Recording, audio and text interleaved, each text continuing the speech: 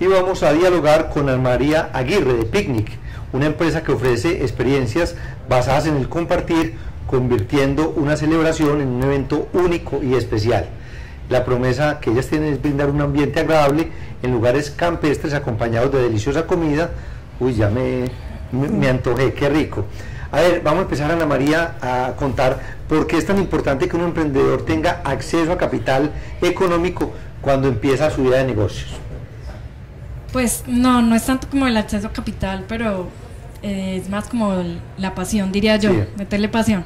Igual pues es, mm, sin capital tú puedes empezar pasito a pasito montando pues como lo requerido para, para darle pie pues a, a tu idea de negocio. Sí, El capital es importante, pero igual si no tienes eh, pues esa facilidad, esa ayuda económica, eh, pues diría yo que todo va fluyendo.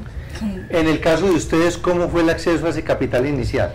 Eh, la verdad empecé con nada, empecé con, digamos que con cuatro manteles.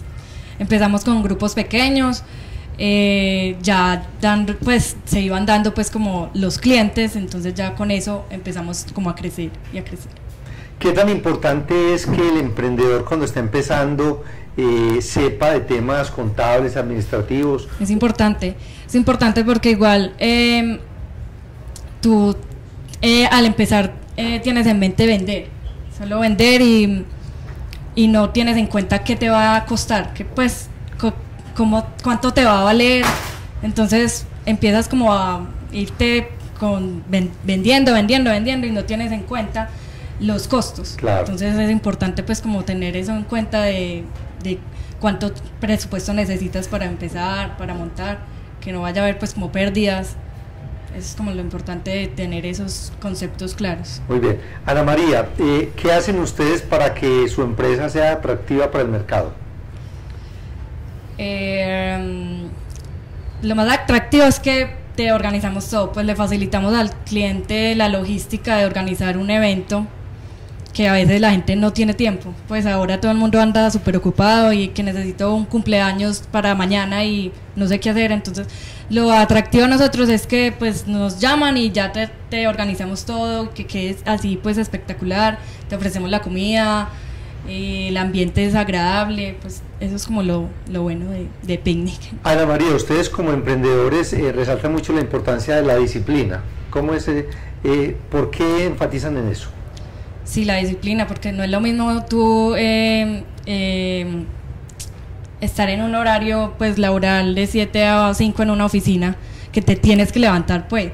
En cambio en la casa, pues si quieres no te levantas un día, pues no haces nada un día y no pasa nada, pero es pues es tu negocio, tienes que darle día a día para que pues para que salga adelante y que hayan frutos pues en el negocio. Muy bien. Ana Entonces, la María, disciplina es importante en ese Qué bueno, muy importante la disciplina. La voy a dejar en conversación con Elisa Bustamante, que es la encargada del tema de aceleración empresarial en Créame. Ella le va a formular varias preguntas y otras que nos llegan a través del, del chat. La gente que está conectada con nosotros en YouTube o nos escribe por Facebook, por Twitter, por diferentes eh, redes y también le quieren hacer preguntas.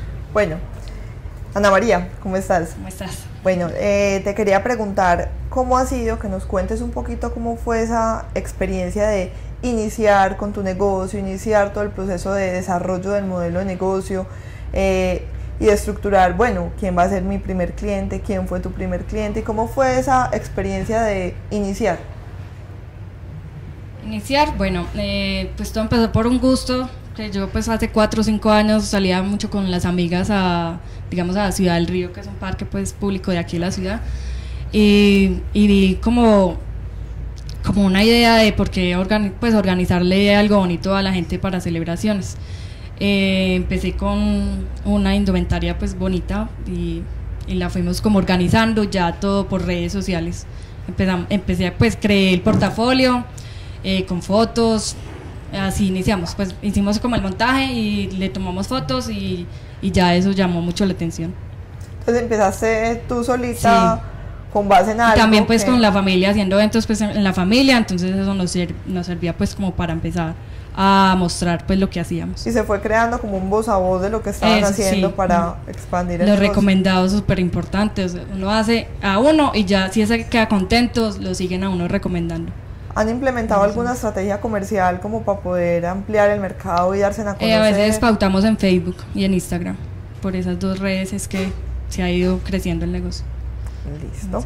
Bueno, saludamos a Laura Ortiz desde Bogotá, que nos está viendo. Ah, bueno, muchas bueno. gracias Laura. Bueno, muy bien, Ana María. Mirando aquella cámara a la izquierda nos va a decir por qué contratar los servicios de The Picnic. Bueno, de Picnic es, eh, son experiencias, eh, son recuerdos que quedan para siempre. Eh, nosotros les damos gusto, eh, nos encargamos pues de todo, no tienen que preocuparse por nada, son experiencias bonitas al aire libre para compartir con seres queridos, eh, fusionando pues como el buen comer, que es importante, todo gira en torno a la comida, entonces es picnic, el concepto de picnic es compartir una comida al aire libre. Eh, aquí pues ya le metemos lo- el plus que es la decoración, un ambiente muy agradable. Pues, con The Picnic tienen celebraciones que quedan espectaculares. Ana María Aguirre, geren- la gerente y fundadora de The Picnic. Muchas gracias por haber estado con nosotros. Muchas gracias a ustedes por la invitación. Bueno, vamos a dar el paso a Elisa a ver cuáles fueron las principales conclusiones de este diálogo que teníamos con esta emprendedora. Bueno, Ana María nos habló de un tema muy importante y es de contar con un área administrativa y financiera desarrollada. Identificamos que muchos de los emprendedores inician solos con base a una necesidad que identificaron en el mercado y tienen muy bien desarrollada la parte técnica, pero es importante contar con un equipo de trabajo multidisciplinario que tenga todas las habilidades en las partes comercial, administrativa, financiera y técnica para poder lograr que la empresa tenga, pues se apalanque, apalanque ese crecimiento y que no sea eh, lo que ella nos hablaba, por ejemplo, Juan Carlos, de, bueno, entonces voy a iniciar, entonces, ¿cómo voy a costear? Entonces, ¿a dónde voy a llegar?